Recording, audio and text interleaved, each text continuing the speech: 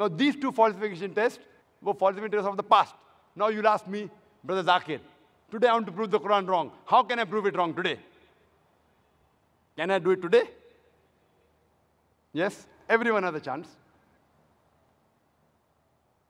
Allah says in Surah Maida, chapter number 5, verse number 82,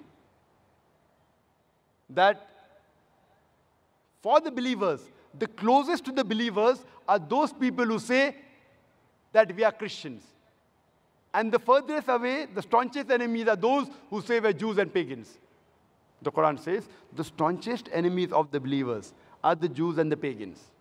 And the closest to the believers are those who say we are Christians. As a whole, the Quran is talking as a whole. There are many Jews who have accepted Islam. There may be few Jews who are better than the Christians, but as a whole, the Quran says the Jews are the enemies of the Muslim as a whole. And the Christians are closer. Only thing to prove the Quran wrong, now all the Jews of the world, they get together and they plan. Okay, let's be good to the Muslim for a few years, or two, three years.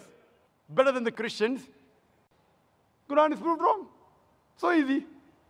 All the Jews of the world get together.